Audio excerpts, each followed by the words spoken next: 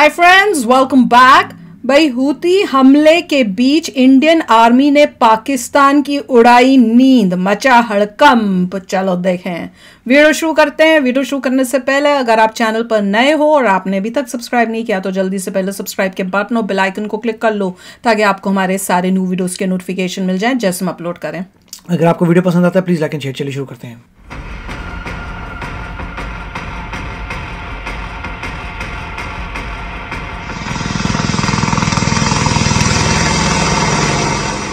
हुतियों पर हमले के बीच इंडियन नेवी ने जो किया वो देख दुनिया दंग है। लेकिन दूसरी तरफ़ भारत और पाकिस्तान के बीच सीमा पर तनातनी दिखने लगी है। दरअसल पहले पाकिस्तान ने भारत की सीमा से 20 किलोमीटर दूर एयरफील्ड बना लिया और फिर अच्छा। क्या था भारत ने भी पाकिस्तान को अब चढ़कर जवाब दे दिया। भारतीय सेना ने M R S M missile unit को पाकिस्तानी सीमा के पास तैनात कर दिया है। इससे पहले नौसेना के एयरक्राफ्ट कैरियर आईएनएस विक्रांत पर भी इसे तैनात किया गया था। ये एक मध्यम रेंज की सतह से हवा में मार करने वाली मिसाइल यानी medium range surface to air missile है।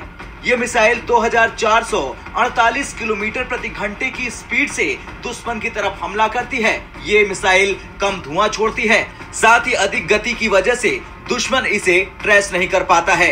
इस मिसाइल को डीआरडीओ ने इसराइल की आईएआई कंपनी के साथ मिलकर बनाया। इसराइल से भारत को मिला बराक मिसाइल भी एम आर एस एम ही है। सतह से हवा में मार करने वाली मिसाइल आर्मी वेपन सिस्टम में command post multi functional radar mobile launcher system होता है। ये इसराइल की खतरनाक मिसाइल बराकेट पर आधारित है।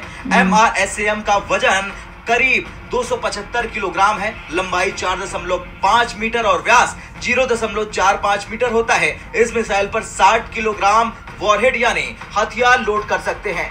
ये दो स्टेज की मिसाइल है, जो लॉन्च होने के बाद धुआँ कम छोड़ती है। एक बार लॉन्च होने के बाद एम आर एस एम आसमान में सीधे 16 किलोमीटर तक टारगेट को गिरा सकती है। वैसे इसकी रेंज आधा किलोमीटर से लेकर 100 किलोमीटर तक है। यानी इस रेंज में आने वाले दुश्मन यान, विमान या मिसाइल को नस्तिनाबूद कर सकती है। M R S M missile में नई बात यह है कि इसमें रेडियो फ्रीक्वेंसी सीकर यानी ये दुश्मन का यान अगर चकमा देने के लिए सिर्फ़ रेडियो का उपयोग कर रहा है तो भी ये उसे मार गिराएगी। भारत ने इसराइल से M R S M missile के पाँच रेजिमेंट खरीदने की बात की है। इसमें 40 लॉन्चर और 200 मिसाइल आएँगे। इस डील की कीमत करीब सत्रह हज़ार करोड़ रुपए है। अब ये तो था भारत का जवाब लेकिन सवाल तो यह है कि पाकिस्तान चीन की गोद में बैठकर सीमा पर गिरी हुई हरकतें करता है। उस पर चीन आखिर चुप क्यों है? और एक तरफ़ पाकिस्तान आतंकियों को पाल रहा और जब यूएन में वो फंसता है तो क्यों चीन उसे बचाने आ जाता है? और फिर जब वो आतंकी बच जाता है तो भारतीय सीमा के अंदर साजिश रचता है। खैर कुछ भी हो लेकिन जब पाकिस्तान की सरहद पर भारतीय सेना के M R S M missile गरजेंगे तो पाकिस्तान किस तरह से रोएगा वो पहले चीन के पास जाएगा या फिर अमेरिका के पास? आपका क्या कहना है? पाकिस्तान को जिस तरह से भारत ने करारा जवाब दिया है उसे लेकर कमेंट कर कर ज़रूर बताएँ। ब्यूरो रिपोर्ट भारत तक। इन्होंने पाकिस्तान ने कोई नया एयरबेस बना लिया है बॉर्डर के पास। ये देखो वैसे खाने के लाले पड़े हुए हैं। इनके पाकिस्तानी यूट्यूबर्स इंडिया की जय जयकार करके अपना पेट प, घर पर चला रहे हैं पेट पा, बच्चों को पाल रहे हैं पेट पेट में भोजन डाल रहे हैं खाना डाल रहे हैं हमारी जय जयकार करके। और यहाँ पीठ पीछे ये लोग वहाँ बेसिस बनाई जा रहे हैं तो ये देखा था देखो। डिफेंस में काफ़ी सारा इनका इन्वेस्टमेंट है। चाहे इनके लोग जो हैं भूखे मर जाए मगर डिफेंस को तेज रखते हैं और ये तो आर्मी का है कि आर्मी की लाइफ जो है इनकी टोटली डिफरेंट होती है वर्सेस हमने कई जगह देखा है यहाँ पे एक न्यूज़ सुनी है कि आर्मी वाले जैसे रहते हैं वो बहुत ही आलीशान है वो आलीशान अमीरों की तरह रहते हैं आर्मी के जो डिफेंस एरियाज़ उस आर्मी के एरिया से बाहर निकलो तो गरीबी नज़र आती है पूरी तो काफ़ी डिफरेंसेस हैं वो तो है ही। मगर इसमें हूती का था मुझे एग्जैक्टली पता नहीं हूती का, का, क्या मतलब उसके बाद अब इसमें- हाँ, मतलब वो ये बोलना चाह रहे थे कि इंडियन आर्मी जो है जैसे इनको हूती को जवाब दिया है उनको जवाब दिया तो ये पाकिस्तान किस खेत की मूली है? कर लो यहाँ पे एयरबेस रेडी हम लोग यहाँ से इसराइल से मिसाइल बात है इंडिया को और होना चाहिए। हमारे हज़ार बनने चाहिए उनके अगर एक आध बनते तो आपको इमीडिएटली इंडिया के बॉर्डर में बहुत सारे एयरफील्ड बना के बहुत कुछ तेज़ी से काम करना चाहिए। वो हो रहा है हमारा। हमारा तो हम तो रेडी हैं। ये पता नहीं ये मेरे ख्याल से ये इस बात पे बड़े चौड़े हो रहे हैं। ये सोच के कि चाइना हमारे साथ है उसका हाथ हमारे सिर पर है इसलिए वो ये सब तमाशे कर रहे हैं। उन्हें ये नहीं पता जब आफत आएगी ना तो चाइना ने भी पीछे हट जाना है। जब उसे दिखेगा हमारे को तो फ़ायदा ही नहीं है अभी। और ये जो बराक मसल की बात कर रहे हैं हम्म। एम आर सैम बोल रहे हैं वो इंडिया को उनके इसराइल के साथ मिलकर मैन्युफैक्चर करना चाहिए इंडिया, इंडिया में, में क्योंकि लग रहा है कि वहाँ से क्रिटिकल तो ये आप कितने खरीद लेंगे? जैसे आपके खरीद खरीद के खरीद खरीद के जब वॉर होती है तब तो आप इमीडिएटली खरीद नहीं सकते प्रोडक्शन में टाइम लगता है। और खासकर जब इसराइल भी अपना फंसा पड़ा है अपने जब आप ऑर्डर देते हैं किसी को उसको तो एक साल लगेगा हाँ। ऑर्डर डिलीवर करने में वॉर हो गई तो क्या ऑर्डर देते फिरेंगे तो पॉसिबल ही नहीं है। रास्ते से तो कैसे ऐसा आना कुछ होना चाहिए इसराइल को बोलना चाहिए भाई मिलके प्रोडक्शन करते हैं इंडिया में इंडिया में, क्योंकि हमें और अगर तुम्हें ज़रूरत पड़ेगी तो हम तो भी यहाँ से तुम्हें दे देंगे क्योंकि तुम्हारी टेक्नोलॉजी है मगर यहाँ पे इंडिया में तो बनाओ। वो तो बहुत इंपॉर्टेंट है। और लाइसेंस दो हमें जिससे ये है कि जब भी ज़रूरत पड़े हम फटाफट बना के करते रहे। तुम्हें जो भी हाँ। क्योंकि तुम्हारे साथ कोलैबोरेशन में कर रहे हैं तो जितना भी पैसा मिलेगा तुम्हें मिल जाएगा पैसा। नहीं, और साथ में- बन के यहीं पर बन के हाँ। हमारी पॉपुलेशन ज़्यादा है फैक्ट्री हम कितनी सारी खोल के धड़ाधड़ बना सकते हैं।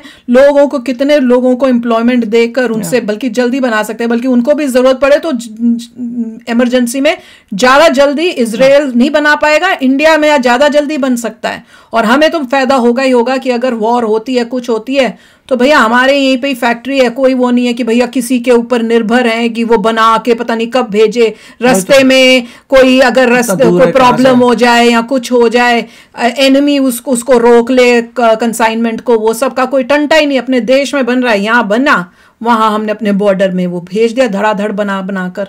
तो वो तो बहुत ही इंपॉर्टेंट है ये सोचना चाहिए। इसराइल से लाना ज़्यादा वो फ्यूचर में सभी कंट्री से होना चाहिए। फ्रांस से भी हो रहा है कि देखो भैया जो भी हम तुमसे खरीद रहे हैं अभी तो खरीद लेते हैं मगर लॉन्ग टर्म के लिए तुम्हें इंडिया में ही मैन्युफैक्चर करना पड़ेगा क्योंकि हमें ज़रूरत पड़ेगी तो हम भागते नहीं फिरेंगे।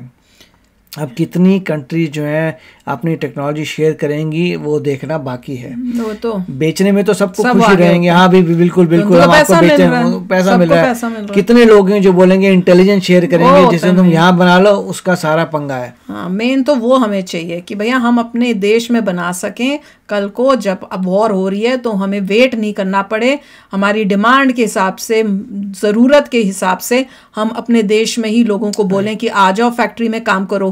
कौन से वॉर में था मैं पढ़ा पढ़ा था अ, बचपन में। पता नहीं अमेरिका में था कहाँ था कि जब वॉर हुई थी तो सब लोग इवन लेडीज़ लोग लड़ाई करने के लिए आदमी चले गए थे। सब लेडीज़ फैक्ट्रियों में काम कर रही थी और फैक्ट्रियों में यही सब वॉर के लिए गन बन, गोलियाँ बनानी ये सब बनाने में वो सब वो फैक्ट्रियों में लग गई थी ताकि इन, इनकी कमी ना हो। तो वैसे होना चाहिए कि भैया हमारे देश में फैक्ट्रियाँ हो कि कल को अगर ज़रूरत पड़े तो घर घर की जो औरतें हैं वो वहाँ पे जाके जो है उस टाइप से जो है काम करके पूरा आर्म्स एंड एमिनेशन जो है हमारे देश में ही बन रहे हो और हमारी आर्मी को वो सप्लाई होते जाए धड़ाधड़ धड़ाधड़ धड़ाधड़। पर पाकिस्तान का तो बाजा बजने ही वाला है बेटा बहुत बजेगा बाजा। देखते जाओ इंडिया इनको इसको सबक सिखाएगा। आपसे भी पूछूँगी, इस चैनल में भी पूछूँगी। आईओपी का फुल फॉर्म बताओ कमेंट सेक्शन में लिखा जाए। और अगर नहीं पता चल रहा कि मैं किस से रिलेटेड बात कर रही हूँ और क्या फुल फॉर्म है तो इंडियन अमेरिकन व्लॉगर में आज की किसी एक वीडियो के अंदर उसका आंसर है। हो सकता है थंबनेल से भी मिल जाए, और बड़ा हिंट दे दिया। अगर उसके बाद भी नहीं पता चलता वीडियो से तो थंबनेल ही देख के बता देना। देखते हैं कौन कौन फिगर आउट कर सकता है। तो चलो, चलते हैं, मिलेंगे नेक्स्ट वीडियो में। बहुत ही जल्द till then take care and bye तो अगर आप मेरे इस चैनल पे नए हो तो जल्दी से सब्सक्राइब के बटन को हिट करो और बेल आइकन को क्लिक करो ताकि आपको मेरा जब नया वीडियो में लगाऊँ, आपको उसके बारे में जल्दी से पता चल जाए।